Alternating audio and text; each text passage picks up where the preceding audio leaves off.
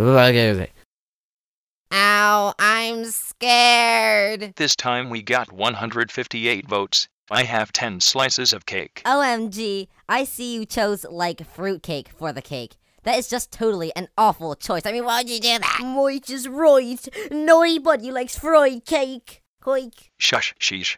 So there are 10 slices. They represent your safety in the battle, at least for now. Whoever does not receive a slice will be eliminated. The seven of you who did not fall into the bottom four are all safe. Now there are only three slices left. Ice Cube. With only nine votes, you are safe. Tennis Ball. Even with 34 votes, you are safe. Yeah. There is only one slice of cake left. I will now show the votes.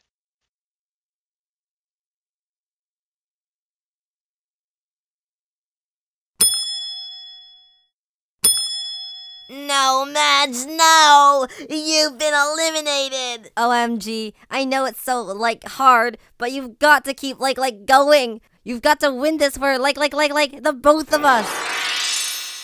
You murdered her! No, that was our laser powered teleportation device.